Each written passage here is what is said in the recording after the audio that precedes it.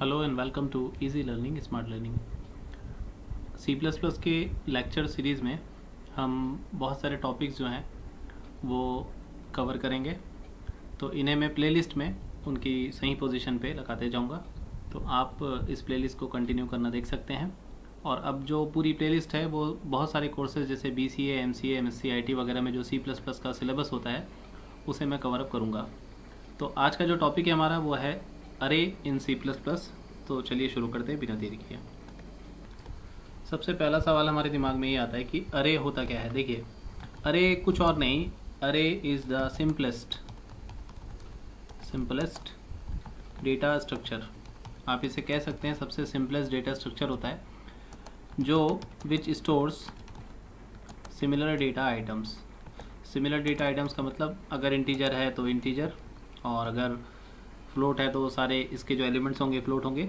तो ये group of similar data items होता है और इसके जो भी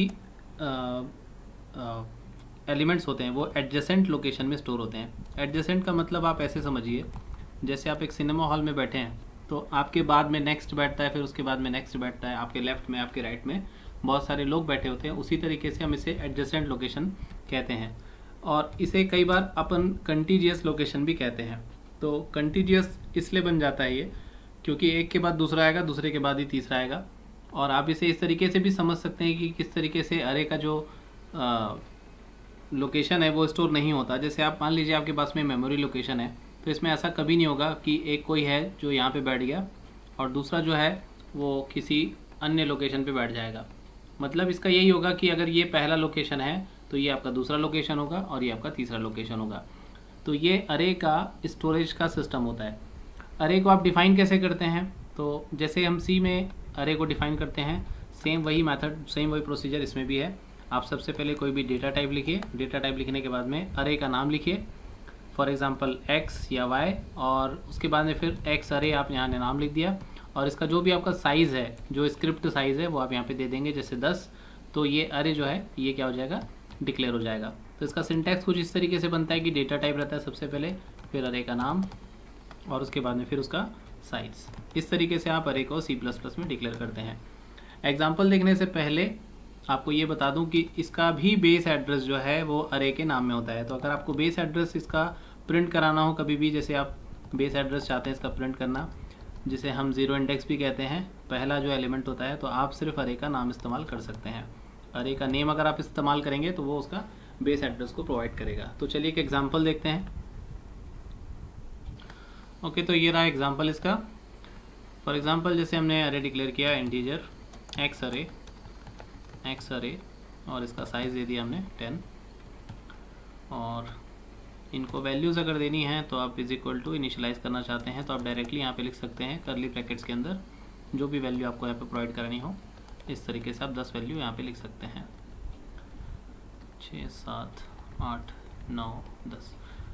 Now if you wish to print the first element of array तो यहाँ पे सी आउट का इस्तेमाल करके आप जैसे पहला है एक्स अरे ऑफ़ ज़ीरो अगर आप लिखेंगे तो इसका पहला एलिमेंट जो है वो प्रिंट हो जाएगा। तो ये है अरे का डिक्लेरेशन ये है अरे का इनिशलाइजेशन जिसमें टोटल दस वैल्यूज़ हैं। आप काउंट कर लीजिए one two three four five six seven eight nine और टेन और ये इसका इंडेक्स तो यहाँ पे जो ट्वेल्व है, इसका पहला एलिमेंट है, वो यहाँ पे प्रिंट होने वाला है। तो हम इसे कंपाइल और रन करते हैं। और आप देखेंगे कि अरे का जो पहला एलिमेंट है ट्वेल्व वो आपके सामने प्रिंट हो चुका है। तो इस तरीके से आप अरे को समझिए कि आप इसमें क्या कर सकते हैं और क्या क्या नहीं कर सकते हैं। तो चलिए कुछ एक्सपेरिमेंट्स शुरू करते हैं। तो जैसे हमने यहाँ सबसे पहले लिखा है फ़र्स्ट एलिमेंट को प्रिंट करना, वो तो प्रिंट हो गया। अब जैसे तीसरा एलिमेंट मुझे प्रिंट करना है तो आप कैसे करेंगे? आप लिखेंगे यहाँ पे सी आउट देन एक्स अरे इसका नाम है। और यहाँ पे तीसरा एलिमेंट जो है वो ज़ीरो वन टू होगा। तो यहाँ पे आप लिखेंगे टू तो इससे क्या प्रिंट हो जाएगा? सेकंड नंबर का एलिमेंट प्रिंट हो जाएगा। ओके एक और एक्सपेरिमेंट करते हैं। अगर आपको कोई मैसेज देना है, जैसे हम मैसेज दे देते हैं कि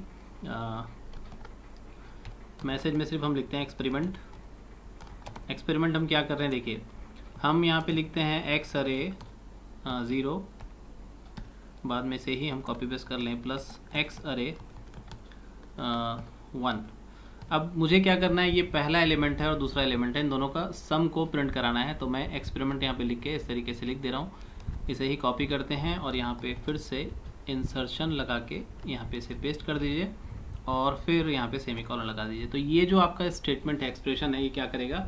इन दोनों का जो एडिशन है, इसको प्रिंट करा देगा। इसे फिर से कंपाइल और रन करते हैं और देखते हैं कि 12 और 23 जो है, वो 35 प्रिंट होता है या नहीं। तो आप देखेंगे यहाँ पे एक्सपेरिमेंट एक्स रे और यहाँ पे प्रिंट हो रहा है थर्टी फाइव सो इस तरीके से आप इसमें एक्सपेरिमेंट कर सकते हैं।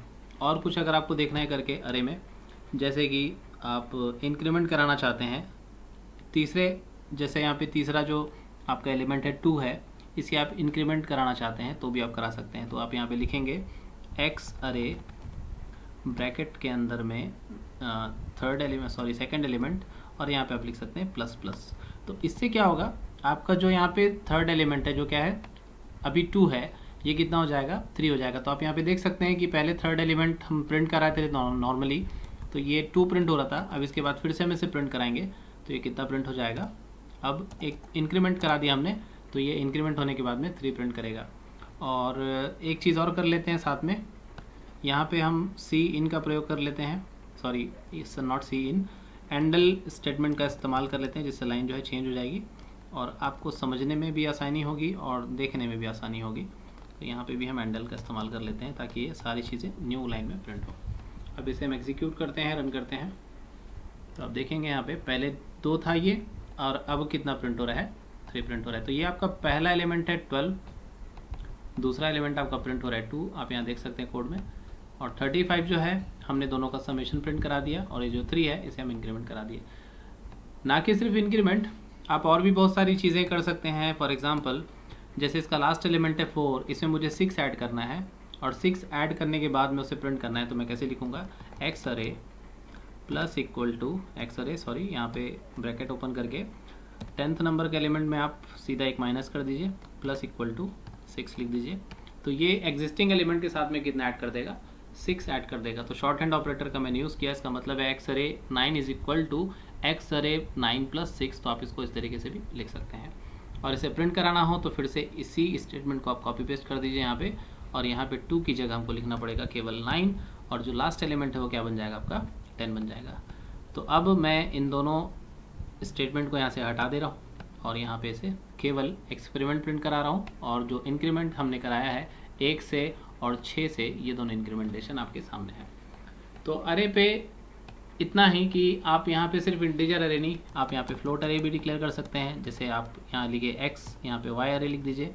वाई अरे ब्रैकेट में इसकी साइज़ दे दीजिए फाइव और इनके एलिमेंट्स जो हैं, अगर आप बाद में इनिशलाइज कराना चाहते हैं तो आप नीचे आके एक एक करके सभी को आप वैल्यू दे सकते हैं। जैसे फ़र्स्ट आपको एलिमेंट को वैल्यू देनी है तो आप यहाँ पे इज़ इक्वल टू फाइव लिख सकते हैं। तो आपका पहला जो एलिमेंट है, वो क्या बन गया? फाइव बन गया। इसी तरीके से आप दूसरा एलिमेंट देना चाहते हैं तो आपको हर बार इसी तरीके से, जैसे पाँच एलिमेंट है तो यहाँ पे फ़र्स्ट इंडेक्स लिखिए, जो होगा दूसरा एलिमेंट यहाँ पे टू लिखिए, यहाँ पे थ्री लिखिए और यहाँ पे फोर लिखेंगे।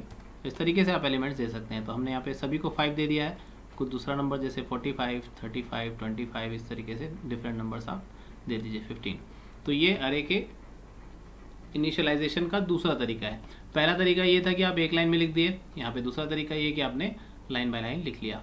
अब जैसे यहाँ पे ये सभी के सभी क्या हैं फ्लोट हैं तो आप यहाँ पे डेसिमल वैल्यू भी दे सकते हैं चाहे तो। किसी एक को दीजिए या सभी को दीजिए। नंबर तो ये सारे के सारे क्या बनेंगे? फ्लोट वेरिएबल ही बनेंगे। तो इसमें आप इंटीजर और फ्लोट दोनों का इस्तेमाल कर सकते हैं, कोई लॉस्ट नहीं होगा। अब इसे प्रिंट कराने के लिए किसी भी एक को प्रिंट करते हैं। जैसे कि मान लीजिए मुझे प्रिंट करना है सी आउट तरीका वही रहेगा अभी भी। आप यहाँ पे लिखेंगे वाई आर ए और एलिमेंट नंबर अगर आप फोर को प्रिंट करेंगे, जैसे कि यहाँ पे फोर नंबर का है फिफ्टीन तो वो प्रिंट हो जाएगा। सेमी कॉलन और यहाँ पे हैंडल का भी इस्तेमाल कर लेते हैं। हैंडल दैट्स इट तो फोर्थ नंबर का एलिमेंट जो है फिफ्टीन वो प्रिंट होने वाला है। तो ये है अरे का डिक्लेरेशन उसका इनिशलाइजेशन और उसका यूज़ इस तरीके से आप सी प्लस प्लस में अरे का इस्तेमाल करते हैं। इतना ही नहीं, यदि आप एक साथ, एक से ज़्यादा अरे को डिक्लेयर करना चाहते हैं एक ही लाइन में तो आप कैसे करेंगे? यहाँ पे लिखिए इंटीजर यहाँ पे जैसे मान लीजिए अरे वन है अरे वन का साइज़ दे दीजिए। थर्टी फोर आप कोई भी साइज़ दे सकते हैं। अरे का दूसरा नाम कॉम यहाँ पे इसकी स्क्रिप्ट साइज़ लिख दीजिए फोर्टी इस तरीके से भी आप मल्टीपल अरेज का डिक्लेरेशन कर सकते हैं। तो ये दोनों अरे जो बनेंगे, कौन से बनेंगे? ये इंटीजर अरे बनेंगे। वैसे ही फ्लोट में जैसे हमने यहाँ पे वाई अरे डिक्लेयर किया है तो वाई अरे के बाद में अगर आपको और भी अरे डिक्लेयर करने की ज़रूरत है तो आप यहाँ पे जेड अरे भी डिक्लेयर कर सकते हैं।